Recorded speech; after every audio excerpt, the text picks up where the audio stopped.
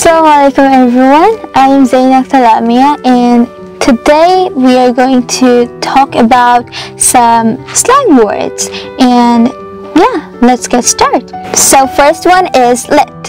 When something is very exciting or something is very good, you can say lit. Let me give you an example. Duty. The last night party was lit. Then number two is salty when someone is feeling sad or not good, then you can say she's feeling salty.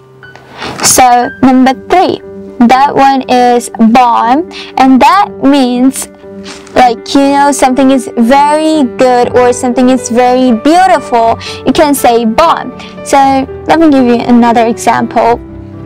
You can say like um, my glasses are looking bomb. Number four is sick that mean is awesome. Let me give you an example.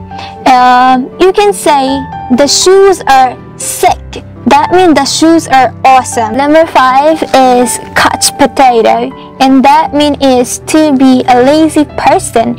And let me give you an example. Don't be couch potato and that mean don't be a lazy person. So that's all about today's video and I hope you love this video and stay home stay safe and also don't forget to stay with TESOL Bangladesh. See you in the next video. Till then bye bye